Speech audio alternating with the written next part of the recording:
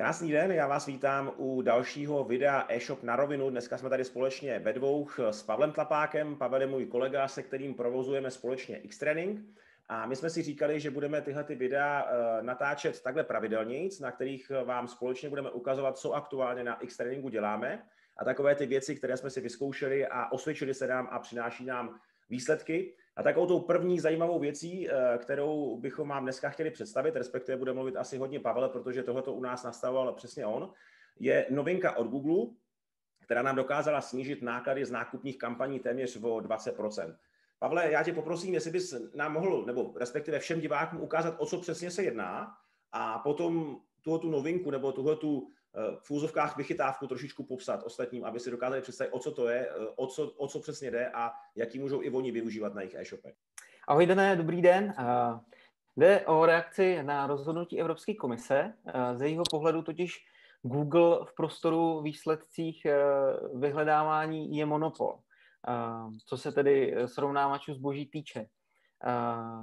Aktuálně Evropská komise tedy vyžaduje po Google dávat stejný prostor uh, ostatním produktovým srovnávačům, uh, stejně jako ve své službě Google Shopping.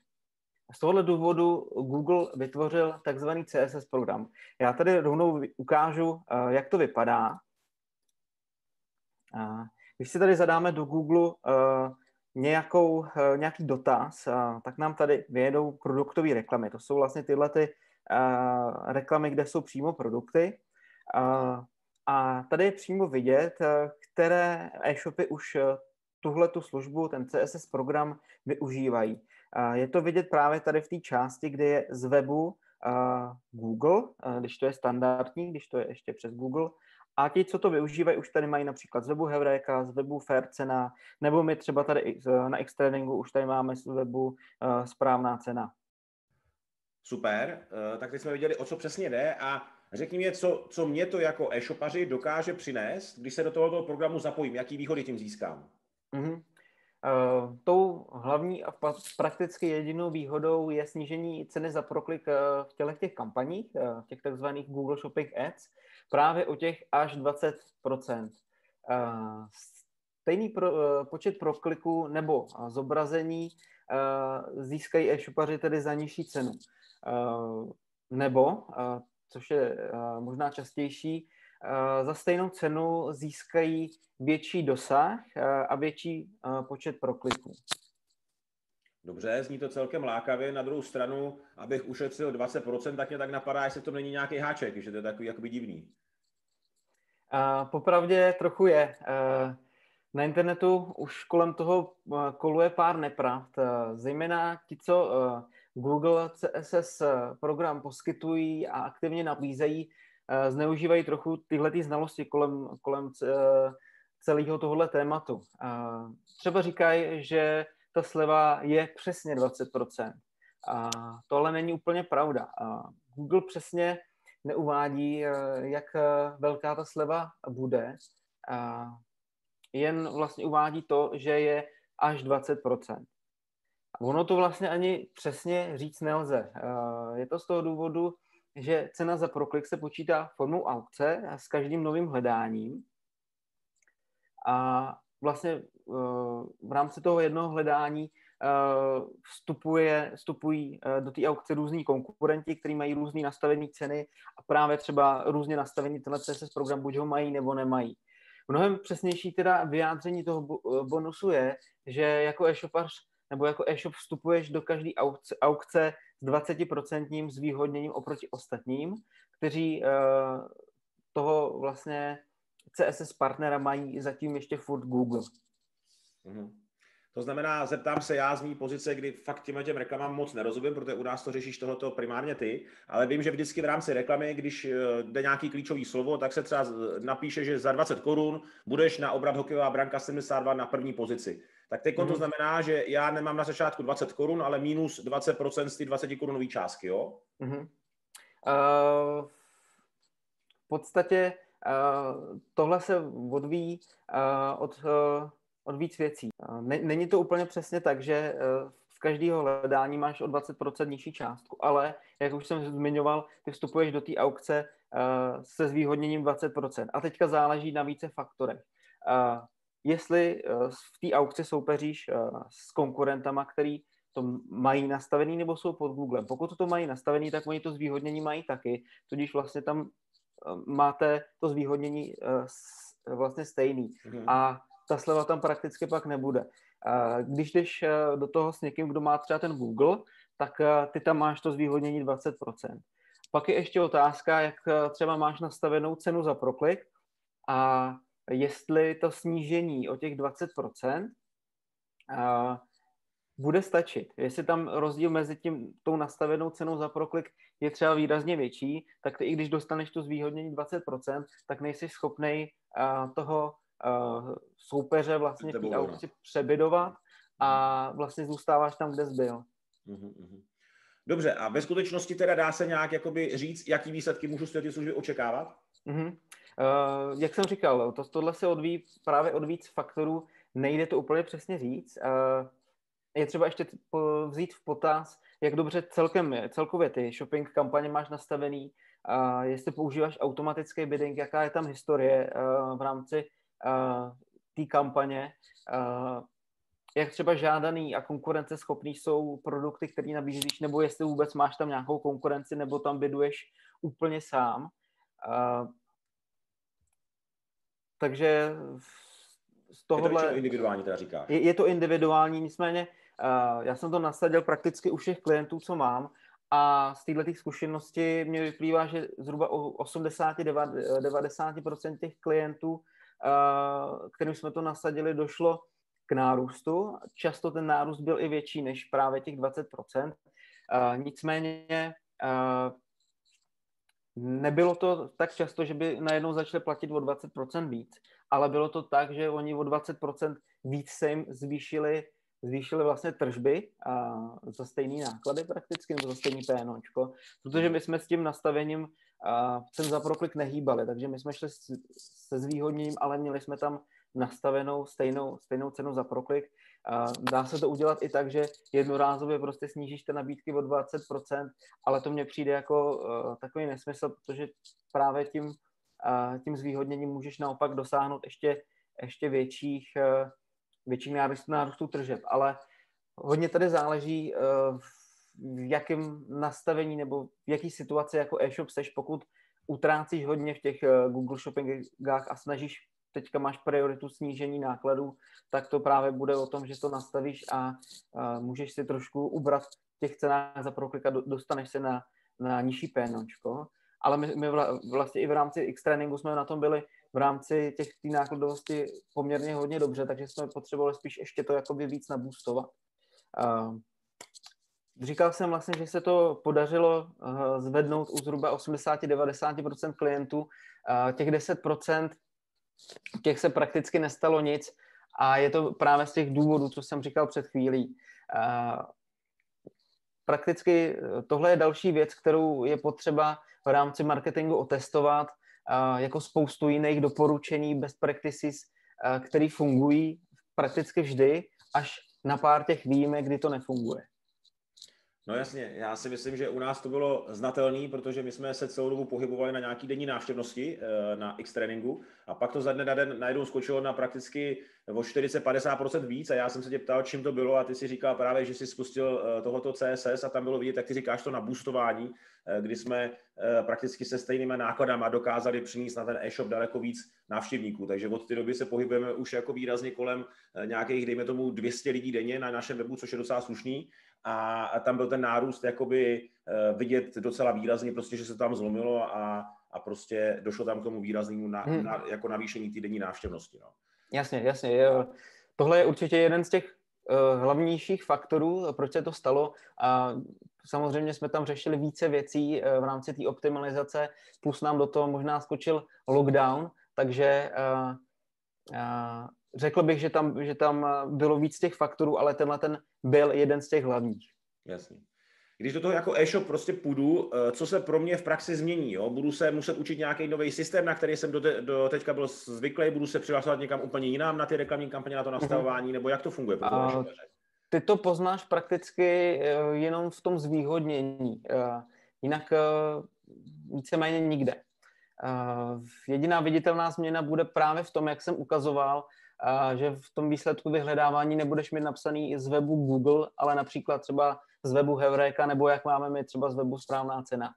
Mhm. Podle toho, s jakým, s jakým srovnávačem zboží si, to, si ten CSS program nastavíš. Mm-hmm.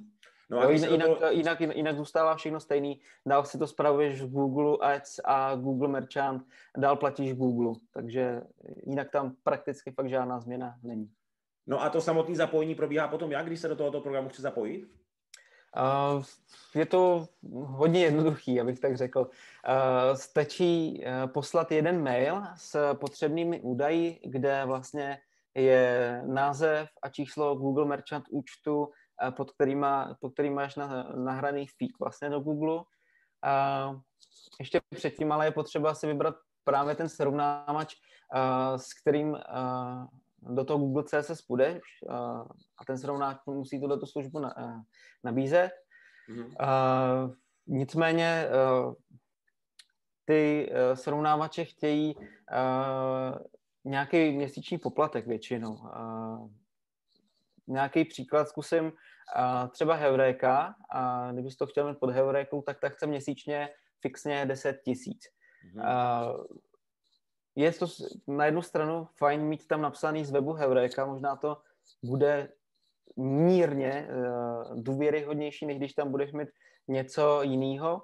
Na druhou stranu je to dost peněz, uh, takže se to vyplatí jenom těm největším hráčům. Uh, řekl bych, eh, nebo doporučil bych to těm, kteří třeba utrácejí měsíčně nad 150 tisíc eh, v rámci, eh, v rámci těch Google Shopping kampaní.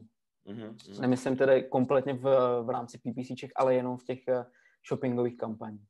Mm-hmm. Uh, druhá možnost je uh, třeba Mangolio.cz, uh, který chtějí ne fixní částku, ale chtějí 10% z útraty shopping kampaní, takže ve výsledku to pro vás je něco mezi nulou a deseti procentama to, to ušetření. Mm-hmm. A pak je tady i možnost zdarma a přes shopping, uh, shoppingin.eu. Uh, jenže tady je zase otázka, jak drahý je zdarma. A vždycky zatím něco je, zatím zdarma. Tady konkrétně to bude stát uh, e-shopy jejich data a prakticky všechny, které mají uh, v rámci těch PPCček protože eh, výměnou za to, že to budou mít zdarma, chtějí, chce tahle ta služba absolutní přístup eh, ke Google Ads eh, s maximálníma právama na správcovství. To znamená, pokud vám to teďka někdo spravuje, tak už nebude ten hlavní správce, ale hlavní správce by, byl, by byla tahle ta služba, která, kterou vlastně poskytuje agentura Blue Winston, takže oni vlastně výměnou za to, že to je zdarma, si načerpají veškerý data o, o vašich kampaních, o vašich produktech, o čemkoliv a můžou to pak využívat ke zprávě svých vlastních klientů, kterých nemají málo, takže pravděpodobně tam mají nějakou konkurenci. Teď jsem chtěl říct, tam bude, tam bude tvoje konkurence a oni už díky těm informacím budou moc krásně pomoct a, a ty půjdeš třeba do pozadí, že jo? Hmm. Aha. Jo, ne, nebo, nebo, nebo se tě budou snažit konvertovat k sobě, jo? Hmm. Hmm. Dobře, a teď ty si teda tady řekl nějaký tři, tři varianty. Jedna byla Hebreka, která stojí, tuším, říkal z 10 tisíc měsíčně, pak tam byla nějaká, uh, nějaká uh, firma Mangolio, která si bere 10%, a pak je tam uh, varianta, která je úplně zdarma. Uh, z tvýho pohledu, uh, jaký bys doporučil řešení těm, těm jako dneska e-shopům, který hmm. bys to chtěl třeba vyzkoušet nebo, nebo využít ty, ty výhody toho CSS programu? Uh, mně už jakoby od první chvíle tohle to nepřišlo málo, ať už to jde o ty ceny, anebo o ty data. A konkrétně ty data já jsem vůbec jako je tam nechtěl pouštět. Jo. Takže a z tohohle důvodu jsem hledal ty řešení, které si myslím, že nejsou, nejsou taky úplně levný. A vlastně ve chvíli, kdy do toho skočí nějaký jiný konkurent, který si vlastně použije stejného partnera, tak vlastně ta výhoda úplně mizí. To se mně nelíbilo, já jsem chtěl, aby moji klienti tu výhodu měli i přesto, aby furt to měli trošku výhodnější. A, bavil jsem se o tom i s pár kolegy, s kterými jsme nakonec tak vlastně bouchli si do stolu a řekli, že si uděláme něco svýho. Uh, rozděli, rozdělili jsme teda ten srovnávač správná cena CZ, uh, pod kterým vlastně běží teďka X, X Training a ten měsíční poplatek jsme si nastavili uh, na minimum, v podstatě jenom tak uh, aby jsme pokryli zprávu toho srovnávače, nájem serveru a programátora, který to vlastně vyvíjí nebo vyvíjel. A, a teď, teďka vlastně tam přidává další shopy. A, a vlastně tak, aby z toho ty klienti co nejvíc, co nejvíc těžili. A když jsme se to spočítali, tak nám to vyšlo tak, že uh, to minimum je 7,5% z nákladů na shopping, takže jsme se dostali o nějaký 2,5% ještě níž, než má třeba to Mangolio. Mm. Uh, nicméně, uh, jak už jsem zmiňoval před chvílí, tak může se někdy stát, že někomu to úplně nemusí jet tak, takhle, jak jsme říkali, podle těch očekávání, co, co jsme tady třeba teďka vytvořili. A v takovém případě uh, se uh, s, tím, s tím shopem nebo s tím člověkem, co to zpracuje, um, společně koukám uh, na ty kampaně a hledáme, kde může být ten pes jakoby zakopaný. Uh, většinou to vyřešíme a třeba postavíme ty kampaně, kampaně úplně od znova, uh, mnohem líp, uh, nebo tam uh, upravíme trošku bidding, rozdělíme je. Uh, výsledek pak třeba je ještě lepší a Navíc vlastně třeba tím, že tam zapneme automatický uh, bydování, tak uh, ten e-shopář, respektive člověk, který mu to dělá, se pak už nemusí tolik věnovat optimalizaci jako předtím, respektive nemusí řešit bidding, protože to za něj řeší ten automat od Google, ale může se věno, ten čas věnovat uh, jiným věcem, který třeba předtím trošku flákal nebo na to neměl prostě čas. Mm-hmm. To znamená, že to chápu dobře, když si ten e-shop dá, eh, dá tuhle tu službu provozovat k vám, do toho vašeho projektu, který jste připravili, správná cena CZ, tak tam je ještě navíc taková extra v úzovkách služba od vás, že eh, mu vždycky na ty kampaně koukáte a snažíte se, aby mu to fungovalo co nejlíp. Je to tak ve chvíli, kdy prostě, prostě to tak nefunguje uh, tak dobře, jak, jak má, respektive pokud nás tam ten e-shopař pustí a chce, se o tom, chce se o tom nějakým způsobem bavit, takže a i tohle, tohle tam můžeme můžem pak jakoby vyřešit. Jasně, super. Uh, teď mě ještě řekni poslední věc asi, pak, když by nějaký e-shopy chtěli využít uh, zapojení se do programu CSS, tak my tady dáme samozřejmě uh, pod tohoto video odkazy na všechny ty varianty, které jsi zmiňoval, ať ta Hebreka, kde to popisují u nich, jak je možné se do toho programu přidat přes Hebreku, přes to Mangolio, případně tam přidáme i správnou cenu. Ten mm-hmm. váš projekt Eh, kam by se lidi mohli ozvat nebo mají ozvat, kdyby chtěli to využít přes vás? Je nějaký přímý kanál, kam, kam dát případně vidět, nebo jak to funguje? Uh, ideální uh, oslovit, uh, oslovit uh, ty srovnávače napřímo, napsat jim, že o to máte zájem. Uh, případně pokud byste to chtěli řešit uh, se mnou, tak uh, stačí napsat na infozavináčpaveltlapák.cz domluvíme se na podmínkách, eh, já vám pošlu instrukce, jak napsat právě ten e-mail, eh, o kterém jsme se bavili, kam ho poslat a, a pak vlastně už se o to postarám a, a zhruba za dva nějaký dny by se to mělo přepnout už do toho CSS programu. A, a vlastně pak už budete čerpat to zvýhodnění. A, takže to, to asi takhle, takhle za mě k tomuhle. Super, tak já si myslím, že to bylo všem snad jasný, o jaký druh přesně reklamy se jedná, o jaký zvýhodnění lze jako díky těm těm úpravám, které nastaly na straně nebo toho soudu, který ten Google prohrál, eh, jaký výhody ty e-shopaři teď mohou získat v rámci těch svých kampaní.